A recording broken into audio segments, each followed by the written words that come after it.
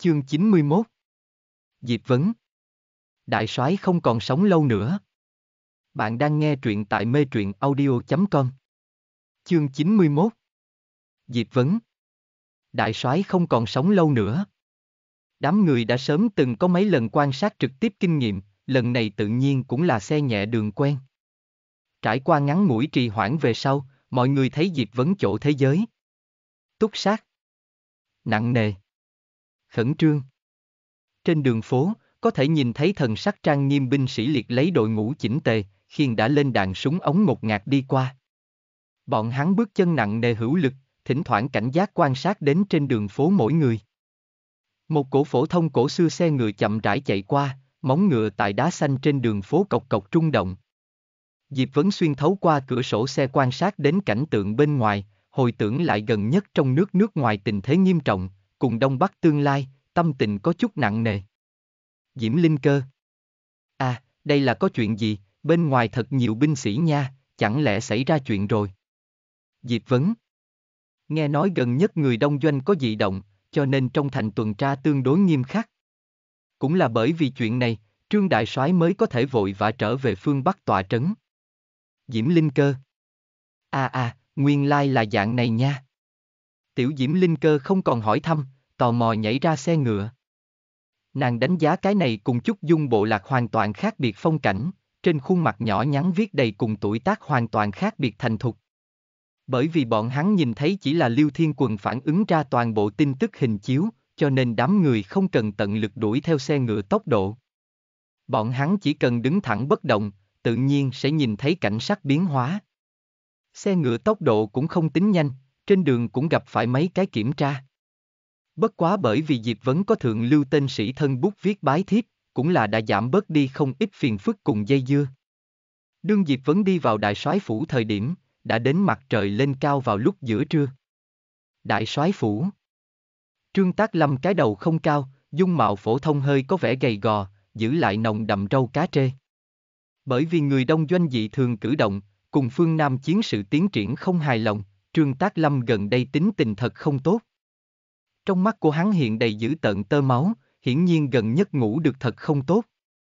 Con mẹ nó, bản soái không phải nói hôm nay không muốn ăn thức ăn mặn. Thịt cá này muốn làm gì, cho ăn bể bụng bản soái a. Trương Tác Lâm trừng tròng mắt, đối quản gia giận mắng không thôi. Quản gia mặt mũi tràn đầy cười khổ, vội vàng giải thích nói. Đây là phu nhân ý tứ, chúng ta. Trương Tác Lâm mắt quét ngang, càng phát ra tức giận, trực tiếp một cước đạp lên. Em mờ, nhà này bản soái còn không thể làm chủ rồi. Đại soái, ngoài cửa có người cầu kiến. Nhưng vào lúc này, có vệ binh từ bên ngoài đình viện đi đến, bẩm báo nói. Có người. Trương Tác Lâm sửng sốt một chút, nhíu mày hơi nghi hoặc một chút. Hắn không nhớ rõ hôm nay mời ai vậy. Lai lịch gì? Trương Tác Lâm trầm giọng hỏi thăm. Mang theo Quảng Châu danh sĩ bái thiếp, nói là gọi Diệp Vấn. Đúng, hắn còn mang theo nữ tới, nói là hắn nội nhân. Thủ vệ hơi trầm tư một chút, trả lời. Diệp Vấn, Quảng Châu danh sĩ, còn mang theo lão bà tới. Trương Tác Lâm sờ lên râu ria, tới điểm hứng thú. Hắn gần nhất cùng lão tưởng người đánh cho mặt mũi tràn đầy cẩu huyết, lúc này Quảng Châu có người đột nhiên đến đây bái phỏng, hơn nữa còn là mang theo phu nhân, quả thực để Trương Tác Lâm có chút xem không hiểu. Dẫn hắn đi phòng khách chờ lấy. Trương Tác Lâm trầm tư, mặc dù không có nghe nói qua Diệp Vấn người này, nhưng vẫn là hứng thú quyết định gặp được thấy một lần. Vâng. Phòng khách. Diệp Vấn tài thủ vệ dẫn đầu xuống tới đến phòng khách, rất nhanh có dung mạo thanh tú thị nữ bưng tới trà nóng. Diệp Vấn uống một mình tự uống, biểu hiện phi thường bình tĩnh, hoàn toàn không để mắt đến trước cửa cầm súng chiến sĩ. Về phần Trương Vĩnh Thành, thì hai tay cầm thật chặt vạt áo, biểu hiện có chút khẩn trương. Nàng cố nhiên xuất thân danh môn, nhưng dưới mắt muốn gặp cũng không phải cái gì phổ thông thượng lưu tên sĩ, mà là chiếm cứ thiên hạ nửa giang sơn trương đại soái. Đối mặt loại này quát tháo phong vân đỉnh tim đại nhân vật, Trương Vĩnh Thành làm sao có thể không khẩn trương. Diệp Vấn phát giác được Trương Vĩnh Thành khẩn trương, mỉm cười cầm nạn yếu đuối không xương tinh tế tố thủ, lấy đó an ủi. Trương Vĩnh Thành ôn nhu trở về cái tiếu dung, lúc đầu lòng thấp thỏm bất an tình thư hoảng không ít. Mà tại Diệp vẫn chờ đợi công phu, đám người thì nhiều hứng thú đánh giá đại soái phủ tình huống. Cổ Tam Thông Người này rất cẩn thận nha, chỉ là phòng khách phụ cận trạm gác công khai trạm gác ngầm liền vượt qua 10 nơi. Lý Tầm Hoan Từ trước có thế người thành đại sự, không khỏi là có chỗ hơn người. Người này mặc dù chỉ là trộm cướp xuất thân, nhưng có thể đi hôm nay một bước này kiên quyết không phải may mắn. Ta nhìn những binh lính này hành tẩu đứng gác đều rất có chương pháp, cũng đều là trong quân đội bách chiến tinh binh. Cổ Tam Thông À, Lý Huynh còn hiểu hành binh đánh trận. Ta còn tưởng rằng các ngươi những người đọc sách này sẽ chỉ phong hoa tuyết nguyệt, chơi gái kỹ nữ miệng pháo đây này. Lý Tầm hoang dở khóc dở cười, thậm chí không biết trả lời như thế nào. Người đọc sách sự tình, có thể để chơi gái sao, gọi là tài tử giai nhân, nhất thời giai thoại mới đúng a. Đương nhiên, Lý Tầm Hoan cũng liền ở trong lòng ngẫm lại thôi, tất nhiên là không sẽ cùng cổ tam thông phân cao thấp. Lấy hắn đối cổ tam thông hiểu rõ, nếu là thật cùng đối phương thảo luận vấn đề này, sợ không phải muốn tranh luận không có cuối cùng. Bái Nguyệt giáo chủ đứng ở trước cửa, đánh giá cổng thủ vệ. Không, chuẩn xác hơn nói hẳn là dò xét trong tay bọn họ súng ống. Đang tiếp thụ vương lỗi hiện đại tri thức về sau, đám người đối với khoa học kỹ thuật đã không tính là đặc biệt lạ lẫm. Chí ít đối với súng ống loại này hiện đại lợi khí, không đến mức hoàn toàn không biết gì cả. Bái Nguyệt giáo chủ ý vào đối phương không thấy mình, đối trường thương có chút hăng hái nghiên cứu. Thiên sứ ngạn khoan thai ngồi ở phòng khách. Trên thực tế, nàng đối loại chuyện này căn bản không có hứng thú, nếu như không phải là bởi vì muốn kiến thức kiến thức thế giới khác phong tình, thiên sứ ngạn mới lười nhác đến đây. Về phần diễm linh cơ, thì cuốn lấy Lý Hạo hỏi lung tung này kia, nhìn cái gì đều lộ ra cực kỳ hiếu kỳ. Quần chủ ca ca, cái ghế ngồi dễ chịu sao, luôn cảm giác ngồi loại vật này là lạ. Quần chủ ca ca, cái bình này thật xinh đẹp nha.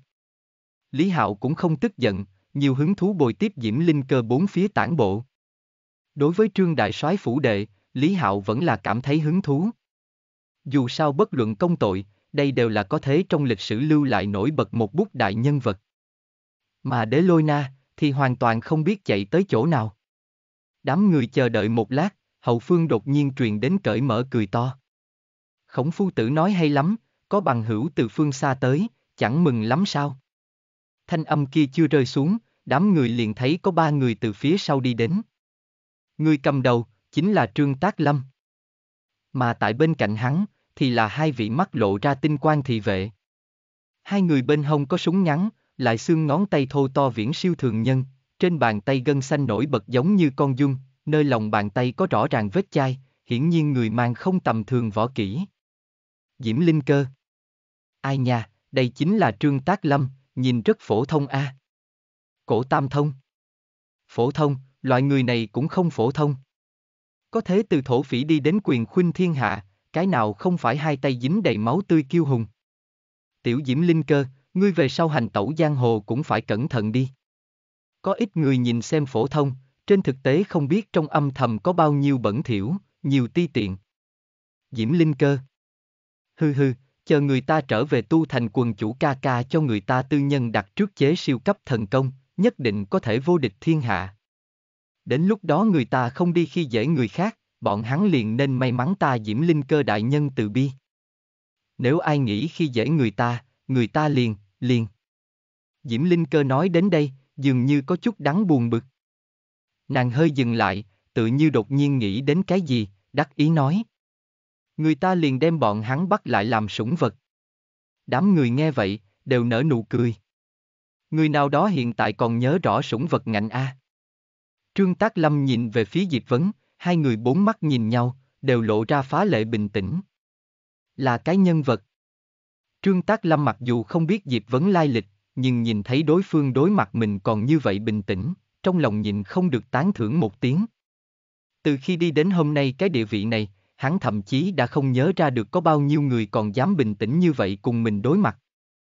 Trương Tác Lâm cười đi lên trước. Vị này nghĩ đến hẳn là Diệp Tiên Sinh, không biết Diệp Tiên Sinh không xa vạn dặm từ Quảng Châu đến đây, thế nhưng là có chuyện gì? Diệp vẫn đứng dậy, chắp tay nói.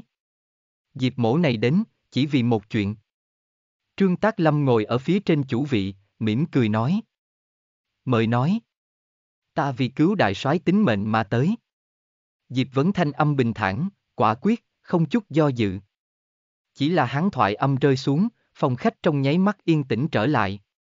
Tất cả mọi người đều nghiêng đầu mà xem, trong đó có kinh ngạc, có phẫn nộ, còn có xem thường. Trương Tác Lâm nụ cười trên mặt càng là trong nháy mắt lạnh xuống, hư lạnh nói. Con mẹ nó, dám như thế cùng bản soái nói chuyện, tiểu tử ngươi có loại A, biết trước kia như thế cùng bản soái nói chuyện giang hồ phiến tử, hiện tại cũng là kết cục gì? Trương Tác Lâm nói đến đây, hai mắt đột nhiên hiếp lại, tự như săn mồi báo săn tản ra khí tức nguy hiểm mãnh liệt, lạnh lùng nói. Những người kia, đều bị bản soái cho chó ăn. Diễm Linh Cơ.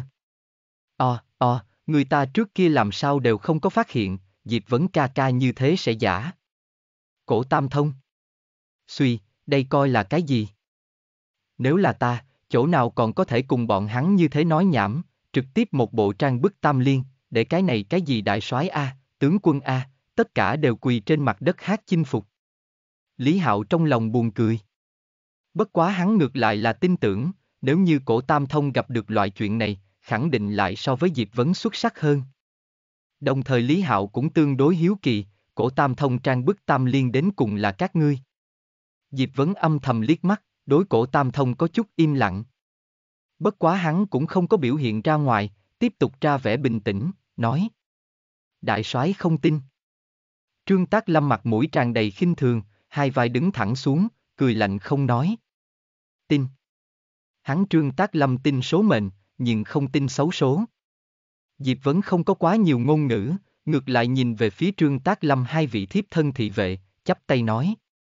Chưa từng thỉnh giáo hai vị tráng sĩ cao tính đại danh. Hai người trầm mặt không nói, vô tình nhìn xem Diệp Vấn, phản phất đang nhìn người chết. Diệp Vấn thần sắc có chút xấu hổ, còn có chút bất đắc dĩ. Hắn vốn cũng không am hiểu cùng người liên hệ, gặp được loại chuyện này khó tránh khỏi có chút lạnh nhạt không quen. Chỉ là không đợi Diệp Vấn mở miệng, Trương Vĩnh Thành đột nhiên mở miệng nói. Lão gia, ngài không phải cùng tiên trưởng học được tiên pháp, sao không trực tiếp cho đại soái mở mắt một chút? Đại soái kiến thức rộng rãi, vượt qua được cầu đều so chúng ta đi qua đường nhiều, là chân kim, hay là giả hàng, nghĩ đến đại soái tự có phân biệt. Trương Tác Lâm hai mắt nhắm lại, trên mặt nhiều hơn mấy phần nghiền ngẫm. Tiên pháp những năm này hắn gặp phải tự xưng sẽ tiên pháp đắc đạo chi sĩ, không có một trăm, cũng phải có chín mươi. Nhưng những người này, ít có người có bản lĩnh thật sự.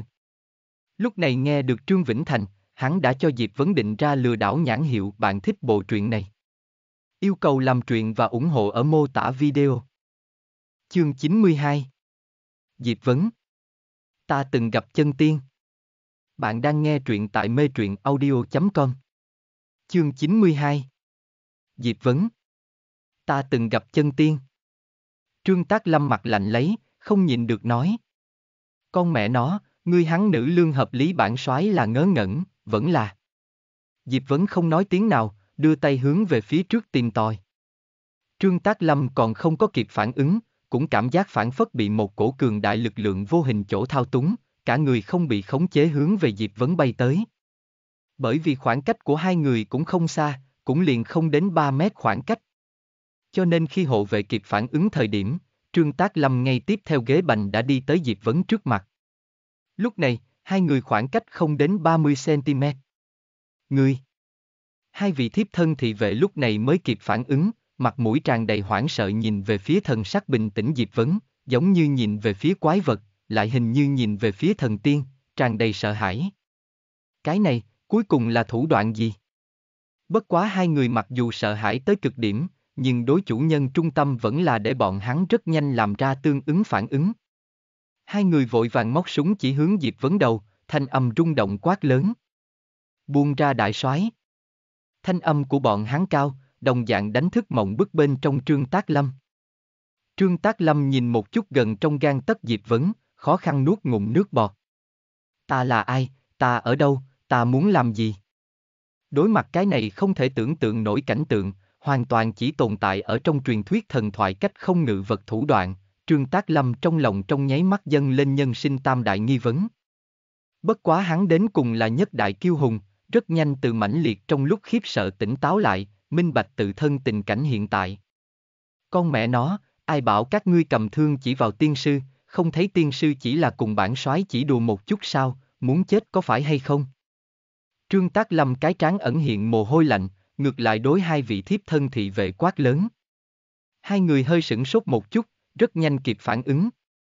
Không nói trước Diệp Vấn vừa mới sử dụng thủ đoạn gì, liền nói hiện tại trương đại soái khoảng cách Diệp Vấn bất quá chỉ là lấy tay khoảng cách. Tại dạng này khoảng cách vạn nhất thương tổn tới đại soái kia. Hai người rùng mình một cái, vội vàng đem khẩu súng thu vào. Diễm Linh Cơ. Đáng thương trương đại soái, đây là kém chút bị Diệp Vấn ca ca cho trực tiếp hù chết à. Cổ Tam Thông. Chật chật, nhìn xem người ta, kẻ thức thời mới là Tuấn Kiệt, phản ứng này tốc độ chính là không giống. Thế nào, ta trước đó nói cái gì, chỉ cần một bộ trang bức tam liên xuống dưới, chỗ nào cần phiền toái như vậy không phải. Lý Hạo buồn cười nói. Trang bức tam liên, ngươi ngược lại là nói một chút cái nào tam liên. Cổ tam thông thần sắc hơi cương, mặt mũi tràn đầy lấy lòng nói. Ai u, ngài nhìn quần chủ nói. Ta cổ tam thông chính là ăn rồng gan, vậy cũng không dám ở trước mặt ngài làm càng không phải. Cái này trang bức cái gì, khẳng định là quần chủ ngài. Phi, quần chủ đại nhân trang bức có thể để trang bức sao, gọi là dạy bảo hậu bối, quả thật đại thiện tiến hành. Đám người đồng loạt cười nhạo một tiếng, đối với một người da mặt có hoàn toàn mới nhận biết. Vô sĩ. Quá không muốn mặt. Lý Hạo ra vẻ khinh thường hừ nhẹ một tiếng, âm thầm đối cổ tam thông sự cái tán thưởng ánh mắt. Kia thần sắc, thật giống như đang nói. Không tệ, tiểu tử ngươi có tiền đồ. Cổ tam thông gặp đây, trong lòng nhẹ nhàng thở ra, đồng thời âm thầm đắc ý. Các ngươi bọn này đồ đần, da mặt có cái rắm dùng. Chỉ cần đem quần chủ liếm dễ chịu, điểm tích lũy, công pháp, bảo bối, đây còn không phải là muốn cái gì liền có cái gì à. Không thấy tiểu diễm linh cơ cái rắm lớn bản sự không có, mỗi ngày liền sẽ dán quần chủ liều mạng liếm a liếm, không muốn mặc hô hào quần chủ ca ca, quần chủ ca ca, hiện tại cũng đã thành cao thủ tuyệt thế sao? Cho nên nói, nhiệm vụ cũng tốt, da mặt cũng được, có thế có liếm quần chủ hữu dụng. Cổ tam thông âm thầm khinh thường liếc xéo đám người, trong lòng tràn đầy đắc ý. Trương Tác Lâm hừ một tiếng, ngược lại nhìn về phía Diệp Vấn. Hắn khó khăn nuốt ngụm nước bọt, hai mắt lửa nóng giống như lò luyện, kia sốt ruột ánh mắt đơn giản so nhìn thấy tuyệt thế mỹ nhân còn muốn chờ đợi. Trải qua ngắn ngủi bối rối, Trương Tác Lâm đã hoàn toàn tỉnh ngộ lại.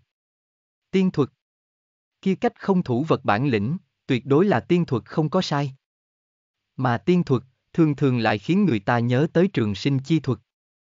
Trương Tác Lâm tuổi tác đã không nhỏ, nhất là trước kia thường xuyên tự thân lên chiến trường giết địch, nếm qua không biết bao nhiêu khổ.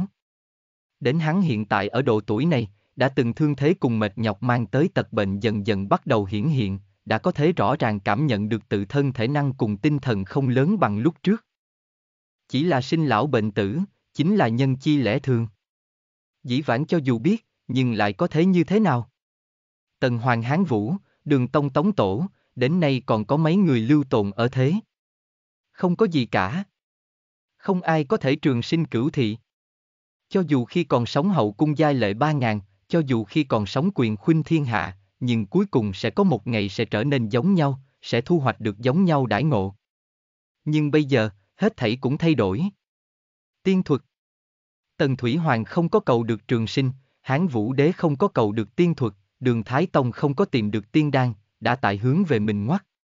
Tại thời khắc này, Trương Tác Lâm thậm chí đang hoài nghi mình có phải hay không chân long thiên tử, cho nên thượng thiên hạ xuống tiên nhân đến đây tương trợ. Trong đầu hắn ngàn ti bách chuyển, hiện thực nhưng cũng bất quá ngắn ngủi một hơi. Ha ha, Diệp tiên sư không được, khó lường a. Trương Tác Lâm hai chân có chút trung rẩy đứng dậy, khắp khuôn mặt là cùng thiện tiếu dung, trong đó ẩn ẩn còn mang theo có chút lấy lòng. Hắn tiếng nói hơi ngừng lại, nói. Diệp tiên sư thủ đoạn thật sự là quỷ thần khó lường, để cho người ta mở rộng tầm mắt, mở rộng tầm mắt a ta trương mổ người sống mấy chục năm, chưa bao giờ thấy qua như thế không thể tưởng tượng nổi, thậm chí không thể tưởng tượng thủ đoạn. Diệp Vấn mỉm cười nói. Một chút tiểu thuật, tính không được cái gì. Tiểu thuật.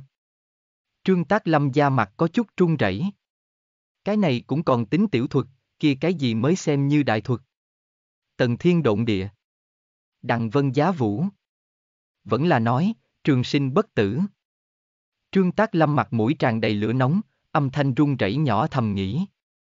Diệp tiên sư thái khách khí, loại thủ đoạn này nói là tiên thuật đều không đủ, ở đâu là cái gì tiểu thuật. Diệp Vấn khẽ lắc đầu. Đại soái có chỗ không biết, Diệp mổ người thi triển những thủ đoạn này, bất quá là tiên nhân tiện tay ban thưởng thô thiển tiểu đạo thôi, chỗ nào có thể so ra mà vượt chân chính tiên gia đại thuật. Tiên gia đại thuật. Trên đời này, thật có tiên gia đại thuật. Trương Tác Lâm trái tim phanh phanh nhảy loạn, kích động đơn giản khó mà tự nói. Hắn miễn cưỡng áp chế tâm tình, nhịn không được hỏi. Diệp tiên sư nói tiên gia đại thuật, không phải là hô phong hoán vũ, đằng vân giá vũ chi thuật. Diệp Vấn cười nói. Đại soái thật biết nói đùa, hô phong hoán vũ, đằng vân giá vũ, những này đều chẳng qua là tiểu thuật thôi, chỗ nào tính là cái gì tiên gia đại thuật. Trương Tác Lâm mặt mũi tràn đầy mộng bức. Cái này, coi như tiểu thuật. Hô phong hoán vũ, đằng vân giá vũ, lại là tiên gia tiểu thuật. Ta, ta. Diệp Vấn hơi ngưng lại, cảm khái nói. Chân chính tiên gia đại thuật là trường sinh bất lão, vai khiên nhật nguyệt, đỉnh đầu thương khung, chân đạp lưỡng cực. Là nhục thân ngao du vũ trụ mênh mông, đưa tay liền có thể trích tinh lãm nguyệt. Như thế, mới có thể xưng thượng tiên nhà đại thuật. Trường sinh bất tử, vai khiên nhật nguyệt. Ngao du tinh vũ, hát trăng bắt sao. Ta ngày tinh a. Con mẹ nó, cái này sợ không phải chân chính đại tiên a. Trương Tác Lâm trong lòng rung động, hoàn toàn không cách nào tưởng tượng Diệp Vấn nói tới vai kháng nhật nguyệt, đến cùng là bực nào ầm ầm sóng dậy, càng không cách nào tưởng tượng đưa tay hát trăng bắt sao là bực nào vĩ đại cùng huy hoàng. Diệp tiên sư, gặp qua như vậy tiên nhân. Trương Tác Lâm trầm mặt một lát, mới âm thanh run rẩy mà hỏi thăm. Gặp qua. Diệp Vấn quả quyết nói. Lý Hạo kia thông thiên triệt địa pháp thiên tượng địa, Diệp Vấn đến nay không cách nào quên. Khi Bạch Vân miễu miễu ở đầu vai thông thả phiêu đảng, đứng lặng thiên địa giống như nguy nga vách núi thân hình khổng lồ, giống như như ác mộng khắc thật sâu khắc ở trong lòng. Chỉ là Diệp Vấn nói đơn giản nhẹ nhõm, lại giống như tại trương tác lâm trong đầu đầu nhập vào một viên bom nổ dưới nước. Gặp qua. Diệp tiên sư gặp qua. Chẳng lẽ trên đời thật có như thế tiên thần? Trương tác lâm triệt để mộng, thật lâu không cách nào lấy lại tinh thần. Nếu là người khác nói như vậy, không thiếu được bị hắn đưa đi một bộ nhục nhã tam liên. Nhưng bây giờ, người nói chuyện là Diệp Vấn, vừa mới hiện ra thần quỷ thủ đoạn Diệp Tiên Sư. Tiên Sư, tự nhiên để cho người ta không thể không tin tưởng, cũng vô pháp không đi tin tưởng. Cổ Tam Thông Suy, tại sao ta cảm giác Diệp Vấn đang quay quần chủ mông ngựa, cái này nói cũng không chính là chúng ta anh minh thần võ quần chủ đại lão sao? Diễm Linh Cơ Anh anh, Diệp Vấn ca ca khẳng định là cố ý, người ta còn tưởng rằng Diệp Vấn ca ca mày rậm mắt to là người tốt, không nghĩ tới cùng cổ tam thông ca ca. Cổ tam thông. Uy, tiểu Diễm Linh cơ, cái gì gọi là giống như ta, ngươi cái này ý gì? Diễm Linh cơ tráng khẽ nâng, khẽ nói. Mỗi ngày đập quần chủ ca ca mông ngựa, nịnh hót. Cổ tam thông mặt mũi tràn đầy im lặng, kém chút cười ra tiếng. Nịnh hót. Bọn này bên trong ai cũng có tư cách nói ta, nhưng ngươi có tư cách gọi ta nịnh hót. Ta nhổ vào, muốn nói quần bên trong lớn nhất nịnh hót, rõ ràng là chính ngươi có được hay không? Cổ Tam Thông trong lòng khinh thường, đối với cái nào đó manh vật rõ ràng song trọng tiêu chuẩn hành vi phi thường khó chịu. Ta, cổ Tam Thông, không vuốt mông ngựa. Đây chẳng qua là ta đối quần chủ từ đáy lòng kính ngưỡng, đánh trong đáy lòng sinh ra kính nể cùng cảm kích, mỗi câu nói đều tuyệt đối là thật tâm thật ý. Nếu như không phải, mời đánh chết Lý Tầm Hoan. Lý Tầm Hoan hiển nhiên là không biết mình đã bị cổ tam thông bán, nhìn xem hai người tiểu hài tử cãi lộn đùa giỡn, nhìn không được cười khổ lắc đầu. Cổ huynh thật không hổ là bất bại ngoan đồng. Diệp Vấn đối với cổ tam thông có chút im lặng, nhưng cũng lười cùng hắn so đo. Hắn gặp Trương Tác Lâm thất thần, trong lòng vẫn có chút hài lòng mình làm ra hiệu quả, giả ý hỏi. Đại soái đã hoàn hảo. Trương Tác Lâm lấy lại tinh thần, mờ mịt nhẹ gật đầu, sau đó lại lắc đầu. Hắn bất đắc dĩ nói. Diệp tiên sư nói tới những cái kia, thật sự là, thật sự là. Trương Tác Lâm nói, đúng là không biết nên như thế nào hình dung. Diệp Vấn mang tới tin tức quá rung động, cũng thật sự là quá mức không thể tưởng tượng nổi. Tiên nhân Hát trăng bắt sao? Đồng thời, Trương Tác Lâm còn nghĩ tới một chuyện khác, một kiện chuyện trọng yếu phi thường. Diệp Vấn ý đồ đến. Cứu mình tính mệnh.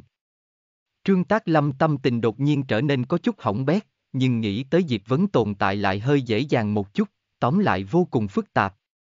Chỉ là không đợi Trương Tác Lâm hỏi thăm nguyên do trong đó, bên ngoài đột nhiên truyền đến dồn dập la lên. Đại soái, không xong, thiếu soái xảy ra chuyện. Thiếu soái xảy ra chuyện rồi. Trong lúc nhất thời, tất cả mọi người không khỏi bị hấp dẫn ánh mắt. Cùng lúc đó, Diệp Vấn trong đầu xuất hiện Liêu Thiên Quận thanh âm nhắc nhở. Chúc mừng ngươi phát động huyền cấp đặc thù hệ liệt nhiệm vụ vòng thứ nhất. Điều tra đông doanh người thần bí. Điều tra đông doanh người thần bí. Diệp Vấn sửng sốt một chút, rất nhanh liền bị nhiệm vụ đẳng cấp hấp dẫn ánh mắt. Huyền cấp hệ liệt nhiệm vụ. Nếu như mình không có nhớ lầm, tiểu long nữ thế giới lúc trước lọt vào vực ngoại thiên ma xâm lấn, chính là huyền cấp nhiệm vụ A. Chẳng lẽ... Diệp Vấn sắc mặt trong nháy mắt âm trầm, trong lòng nhiều có chút bất an. Không phải là xảy ra chuyện. Diệp Vấn tâm tình khẩn trương, vội vàng đem nhiệm vụ phát đến quần bên trong. Diệp Vấn Nhiệm vụ Srenseso Thiên sướng ngạn À, đây là nhiệm vụ, ngươi chừng nào thì nhận được nhiệm vụ. Những người khác cũng chú ý tới Diệp Vấn gửi đi đồ vật, đều biểu hiện có chút kinh ngạc. Nhiệm vụ đặc thù Bạn thích bộ truyện này? Yêu cầu làm truyện và ủng hộ ở mô tả video. Chương 93 Luân hồi giả giáng lâm Bạn đang nghe truyện tại mê truyện audio.com Chương 93 Luân hồi giả giáng lâm người đông doanh tại Đông Bắc thế lực rất lớn, phi thường lớn. Cho dù có trương tác lâm không ngừng ngăn chặn, nhưng bọn hắn đối Đông Bắc các ngành các nghề thẩm thấu, có thể nói là vô khổng bất nhập. Đại Hòa hợp Đêm Đây là một nhà từ người Đông Doanh bỏ vốn kiến thiết cấp cao hợp đêm, ẩn hiện hoặc là ở lâu Đông Bắc người Đông Doanh, hoặc là chính là Đông Bắc thượng lưu xã hội nhân sĩ. Bất quá nơi đây tuy nói là thượng lưu xã hội trọng yếu giao tế trận, nhưng trên thực tế bất luận là Đông Bắc quan lớn, vẫn là quân đội tướng lĩnh, đều sẽ rất ít tới đây tiêu sái khoái hoạt. Bởi vì đại hòa hợp đêm mặt ngoài là người đông doanh thương nghiệp vòng, trên thực tế lại là gián điệp tình báo phân bộ. Đương nhiên, Trương Tác Lâm cố nhiên biết đây hết thảy, nhưng vì không cùng người đông doanh triệt để trở mặt, cũng chỉ có thể nhẫn nhìn thụ lấy đại hòa hợp đêm tồn tại. Mà lại một cái bày ở ngoài sáng địch quân hệ thống tình báo, dù sao cũng tốt hơn một cái không biết giấu ở nơi nào hệ thống tình báo. Hôm nay đại hòa hợp đêm phi thường náo nhiệt, mà náo nhiệt căn nguyên thì là bởi vì trương thiếu đẹp trai. Thảo, bản thiếu gia hôm nay nhất định phải giết cái này tiểu biểu tử. Trương thiếu đẹp trai uống say say say, thậm chí ngay cả đứng đều có chút đứng không vững, nhất định phải bị người đỡ lấy mới có thể đứng lập. Hắn căm tức nhìn cách đó không xa nữ nhân, trên mặt viết đầy phẫn nộ, thất thố trong đại sảnh điên cuồng gầm thét lên. Đã thấy nữ nhân mặt trái xoan, mũi ngọc tinh xảo môi anh đào, da thịt tinh tế tỉ mỉ hoàng mỹ càng hơn dương chi bạch ngọc, không một không hiển lộ ra phương đông nữ nhân đặc hữu ôn nhu. Nàng có một đầu tử hồng sắc mỹ lệ tóc dài, đâm cái thật dài bím tóc đuôi ngựa. Nữ nhân dáng người cao gầy gợi cảm, lấy màu xanh nhạt kimono. Kỳ lạ nhất là, thiếu nữ cầm trong tay một thanh màu đỏ dù giấy, nhìn quả thực là ôn nhu đoan trang càng lộ vẻ tiểu thư khuê các khí chất. Chỉ là đem ánh mắt chuyển dời đến thiếu nữ trước người, lại phát hiện toàn vẹn không phải có chuyện như vậy. Ba bộ đã thi thể lạnh băng nằm trên mặt đất bên trên, trước ngực bị đuổi cái trước sau thông thấu lỗ hổng lớn, máu tươi giống như róc trách tiểu khê mãnh liệt, thấm ướt mảng lớn mặt đất. Đối mặt trương thiếu đẹp trai kêu la, trên mặt thiếu nữ mang theo nụ cười nhàn nhạt, giống như đang nhìn sổ loạn bại khuyển, lại hoặc là đang nhìn không đáng giá nhắc tới sâu kiến. Thiếu soái, tỉnh táo, tỉnh táo a. Thiếu soái không được a. Trương Thiếu đẹp trai đông đảo thân vệ mặt mũi tràn đầy mồ hôi lạnh, đều khẩn trương lôi kéo đã đã mất đi lý trí Trương Thiếu đẹp trai, trong lòng hận không thể lập tức rời đi nơi này. Bọn hắn nói, nhìn về phía mỉm cười thiếu nữ, trên mặt không khỏi lộ ra khẩn trương cùng tâm tình sợ hãi. Ai có thể nghĩ tới, đây là như thế một cái nhu nhu nhược nhược, nhìn yếu đuối thiếu nữ, một quyền liền có thể đem người oanh cái thông thấu. Đáng sợ như vậy lực lượng, đám người đừng nói gặp, nghe đều chưa nghe nói qua. Bọn hắn sợ cái này kỳ quái đông doanh nữ nhân lại đột nhiên nổi điên, đến lúc đó ai cũng không dám cam đoan, có thể hay không phát sinh tất cả mọi người không nguyện ý nhìn thấy cảnh tượng. Hừ, đồ vô dụng. Nhưng vào lúc này, đại sảnh bên ngoài đột nhiên truyền đến lạnh như băng giận dữ mắng mỏ. Đám người nghe vậy, đều rùng mình một cái. Dù chưa nhìn thấy người tới, nhưng bọn hắn đã biết là ai. Trương Tác Lâm, mảnh đất này vương. Đại soái. Đám người thất thần ở giữa, Trương Đại soái đã từ bên ngoài đi vào. Bước chân hắn trầm ổn hữu lực, long hành hổ bộ khí độ phi phàm. Trương Đại soái sắc mặt âm trầm đáng sợ, bất quá khi nhìn đến Trương Thiếu đẹp trai bình yên vô sự về sau, miễn cưỡng xem như nhẹ nhàng thở ra. Cái này đồ dê con mất dịch. Trương Đại soái trong lòng thầm mắng, ngược lại lửa giận ngút trời. Hắn đã sớm đã cảnh cáo Trương Thiếu đẹp trai, đừng đi đại hòa học đêm, đừng đi người đông doanh tràng tử. Đối mặt cái này không nghe lời nghiệt tử, Trương Đại soái trong lòng đừng đề cập nhiều khó chịu. Đương nhiên, khó chịu về khó chịu, nhưng ở ngoại nhân trước mặt nhưng cũng không thể rơi mất mặt mũi. Hắn cũng không thể nói cho người khác biết, Trương Thiếu đẹp trai sự tình cùng ta Trương Đại soái không có quan hệ. Trương Tác Lâm âm thanh lạnh lùng nói.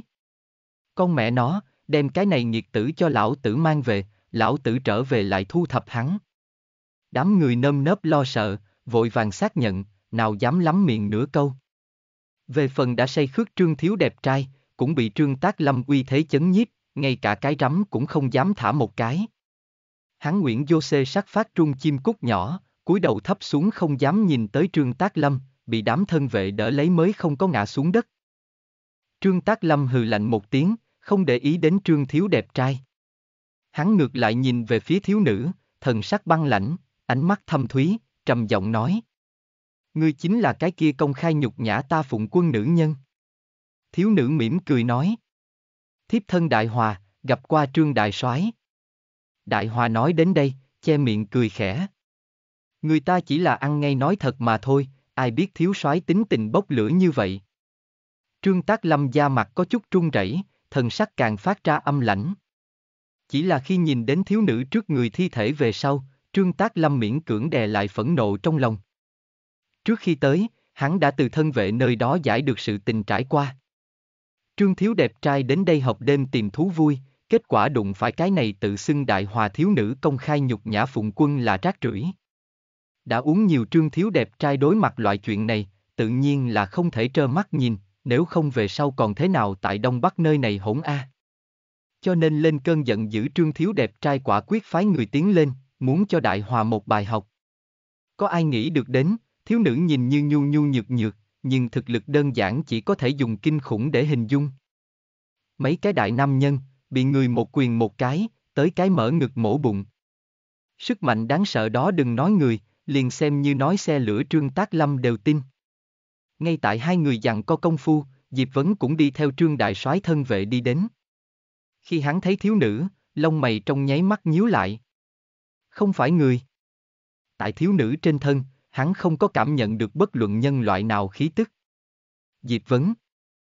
Nữ nhân này rất kỳ quái, cho ta cảm giác hoàn toàn không giống như là nhân loại, nhưng là, có, có một loại hoàn toàn không nói được cảm giác. Kỳ quái, ta trước kia chưa từng có gặp được loại chuyện này, chẳng lẽ đây chính là Liêu Thiên Quần nói tới thần bí người đông doanh? Không phải nhân loại. Đông đảo quần viên nghe vậy, lập tức hứng thú. Bọn hắn nhao nhao bị hấp dẫn ánh mắt, hướng về Đại Hòa nhìn lại. Chỉ là bọn hắn có thể nhìn thấy chỉ là toàn bộ tin tức hình chiếu, chỗ nào có thể cảm nhận được thiếu nữ khí tức. Cho nên tại mọi người xem ra, thiếu nữ hoàn toàn cùng nhân loại không có gì khác nhau. Nếu như nhất định phải nói khác nhau, đó chính là làn da rõ ràng vượt xa người bình thường tiêu chuẩn, mặt phấn má đào, nói là thổi qua liền phá đều không quá đáng chút nào. Chỉ có Lý Hạo, khi nhìn đến thiếu nữ một khắc này, cả người đều có chút không xong. Đại Hòa Hàm Nương Đại Hòa Mặc dù Lý Hạo chưa hề chơi qua Hàm Nương cái trò chơi này, nhưng là đối với ở kiếp trước vang dội nhị thứ nguyên manh vật Hàm Nương, vẫn là có chỗ nghe thấy. Nhất là trong đó lôi cuốn Hàm Nương, càng là không biết xem qua bao nhiêu có yêu đồng nhân đồ. Đại Hòa Một chiếc đối đông doanh mà nói có ý nghĩa trọng yếu, lại có được siêu cấp lực lượng cường đại hàm nương, tự nhiên là được hoan nghênh nhất vở, phi, được hoan nghênh nhất manh vật một trong. Chỉ là, Diệp Vấn, Hàm Nương Đại Hòa. Lý Hạo suy nghĩ có chút lộn xộn, còn có chút nho nhỏ hiếu kỳ cùng kích động. Vốn không nên xuất hiện Hàm Nương trống rỗng xuất hiện, đại biểu tự nhiên là nhiệm vụ, cùng đại lượng điểm tích lũy. Còn Hàm Nương, Lý Hạo biểu thị mình đối thảo thuyền không có bất kỳ cái gì hứng thú. Mà lại Lý Hạo cũng hoài nghi cho dù là trong truyền thuyết Hàm Nương, có thể hay không tiếp nhận mình yêu xung kích. Đương nhiên, những này đều không phải là trọng điểm, trọng điểm là Diệp Vấn thế giới xuất hiện biến cố lớn. Mà liền tại Lý Hạo nhận ra hạm Nương đồng thời, Liêu Thiên Quần bên trong phát ra chói tai còi xe cảnh sát. Cảnh cáo, cảnh cáo, phát hiện luân hồi giả, phát hiện luân hồi giả. Liêu Thiên Quần nhắc nhở, chấn kinh tất cả mọi người. Luân hồi giả. Tiểu tiểu diễm linh cơ. Wow, quần chủ ca ca thật sự là miệng quạ đen, hôm qua mới nói chúng ta có thể sẽ đụng phải luân hồi giả, hôm nay Diệp Vấn ca ca liền thật đụng phải. Thật là đáng sợ, người ta về sau nhất định ngoan ngoãn nghe quần chủ ca ca, quần chủ ca ca không muốn nguyền rủa người ta có được hay không, sợ hãi PG, Lý Hạo khóe miệng có chút run rẩy. Diệp Vấn gặp được luân hồi giả, cùng ta có một mau tiền quan hệ a. Còn có, ta lúc đầu chỉ là tùy tiện nói một chút hù dọa các ngươi chơi, ai biết Diệp Vấn gia hỏa này mệnh kém như vậy, loại này một phần ngàn tỷ tỷ lệ đều có thể đụng phải. Loại chuyện này, cùng ta có quan hệ sao? Các ngươi nói, có quan hệ sao? Lý Hạo trừng mắt đám người, nên đón lại là một mảnh ghét bỏ ánh mắt. Ánh mắt kia, thật giống như đang nói chỉ trách ngươi. Lý Hạo liếc mắt, rất ủy khuất, muốn đánh người. Cái này rõ ràng là dịp Vấn mình số mệnh không tốt, thật không thể trách ta à. Bất bại ngoan đồng cổ tam thông. Khoát sợ. Thiên sướng ngạn. Phi thường khoát sợ. Nữ thần lôi na. Hoa ha ha, miệng quạ đen quần chủ, ngươi thật sự là quá phận. Nữ thần lôi na bị cấm nói một phút. Lý Hạo hừ một tiếng, tâm tình thư thản không ít. Cho nên nói, dám nói quần chủ nói xấu, các ngươi có phải hay không quên cái gì gọi là moderato? Cổ Tam Thông ho nhẹ một tiếng, nói. Kỳ thật đi, chuyện này bất kể thế nào nhìn, cùng quần chủ cũng không thể có một cái tiền đồng quan hệ. Đơn thuần chính tiểu diễm linh cơ tìm đánh, không duyên cớ nói xấu chúng ta vĩ đại quần chủ đại nhân. Ta cho rằng, quần chủ có cần phải, phi thường có cần phải cho tiểu diễm linh cơ đến cái cấm ngôn phần món ăn, lấy ngăn chặn dạng này nói xấu hành vi. Cổ Tam Thông nói xong lời cuối cùng, đắc ý xong Diễm Linh Cơ đưa mắt liếc ra ý qua một cái, trong đó tràn đầy khiêu khích. Diễm Linh Cơ qua một tiếng nhào tới Lý Hạo trong ngực, cái đầu nhỏ tại trước ngực hắn mài cọ lấy, ủy khuất nói. Người ta chỉ là chỉ đùa một chút, thật cũng không dám nữa. Quần chủ ca ca tha thứ người ta có được hay không, có được hay không à? Đám người im lặng, đối cổ tam thông vô sĩ, tiểu diễm linh cơ bán manh, lần nữa đổi mới tam quan. Cho nên nói, hai người các ngươi đủ chưa? Lý Hạo sờ lên diễm linh cơ cái đầu nhỏ, đối mặt điềm đạm đáng yêu dung nhan, nói. Đừng làm rộn, hai người các ngươi gia hỏa cho ta hơi an phận điểm. Diệp Vấn, ngươi đi thử xem đại hòa thực lực, luân hồi giả cơ bản đều là thành đội ẩn hiện, không phải chỉ nàng một người đi tới thế giới này. Ngươi tận lực cẩn thận điểm, nếu như tình huống không đúng, lấy bảo toàn tự thân làm chủ, ta sẽ mau chóng tiến đến trợ giúp. Diệp Vấn nghe vậy, trong lòng tức là cảm động, lại là nhẹ nhàng thở ra.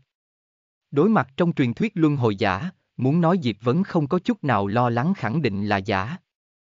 Bất quá đang nghe Lý Hạo sẽ tùy thời trợ giúp, Diệp Vấn lập tức yên tâm.